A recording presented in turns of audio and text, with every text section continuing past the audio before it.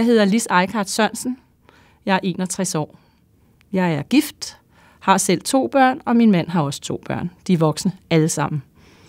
For to år siden, da jeg var 59, fik jeg konstateret kold. Og øh, jeg har været tidligere ryger og, hold, og har røget fra jeg var 18 år til jeg var 44.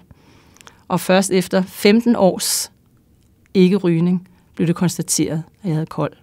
Og der havde jeg jo et hostet rigtig meget i en meget lang periode.